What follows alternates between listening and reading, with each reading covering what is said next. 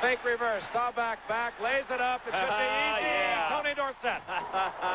that was slick, man. That one really had him all the way. He put Skip Vanderbundt on Dorsett man for man. No contest. No contest. That's what you call all over once you get it. And Roger knew it as soon as he looked up and saw 52. The linebacker trying to cover Dorsett. Gave Staubach one more chance at a score. On the next play, he found number 33, Tony Dorsett. The rookie sensation's catch gave the Cowboys their third score in the quarter and a seven-point halftime lead. Staubach. Ball deflected, but he's still caught there by number 33, Tony Dorsett. Look out! Ah, look out. All right. Norm Thompson misses. It should be all over. It's all over. All right. 91-yard touchdown. Dorsett being congratulated. There's not a cold in the area. Haskel Stanback scored a touchdown for Atlanta. Staubach sets up the screen to Dorsett, and I mean it is set up. Touchdown, Tony D. Dorsett. Little play action to Morales. Graham fought it. He tried to get out there with Jim Youngblood, but Tony Dorsett is just too quick. In the second half, the Cowboys would set those hearts and the game on fire. Here, safety Lucius Smith, number 23, leads an assault on White.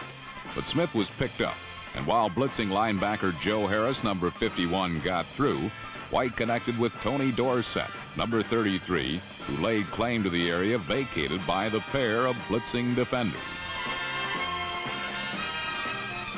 Despite the 10-yard touchdown, the Rams continued to adhere to the blitz. A reverse fake to Johnson. A screen to Dorsett. And Dorsett with some room, breaking tackles. Dorsett back to the inside, down the sideline. A throw. Gonna have to hurry. That'll hurry into the end zone. On first and 10, White.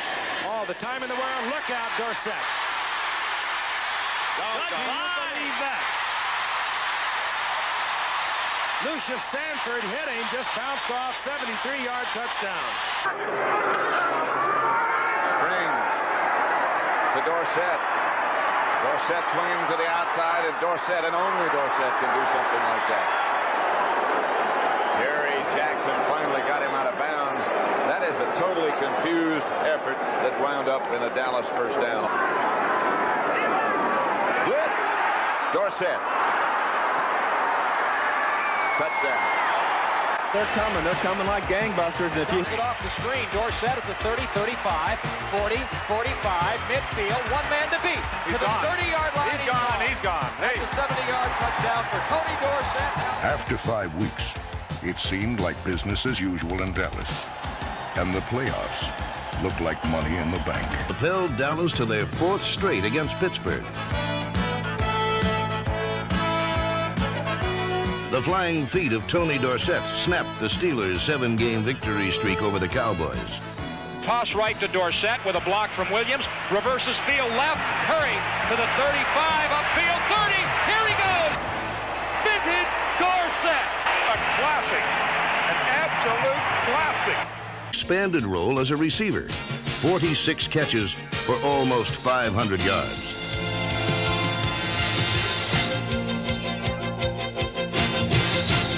Tony scored 10 touchdowns, and his scoreboards lit up. So did his eyes. And again, you'd be talking about a 53-yard field goal. Try to get Septien within field goal range. Crosby to the left, Hill to the right. They set up the screen to Dorsett, who has two blockers in front. Tony gets inside the 20, the 10, and Dorsett for the touchdown. Setup of a screen. This is a letter-perfect screen. Giants had the blitz on. They were trying to pressure White. They pressured him all right, but there's when you blitz, you give up a lot of coverage deep downfield, and then Dorsett does his thing down the sidelines. And the thing in the ankle, you could almost hear the ligament stretch on that replay. And when we saw the play, there was some question as to whether he'd be back in. He was back in on the next series, and he's in for a touchdown here. Tragic uh, loss to San Francisco on the final play, losing to Pittsburgh. Screen pass, Dorsett.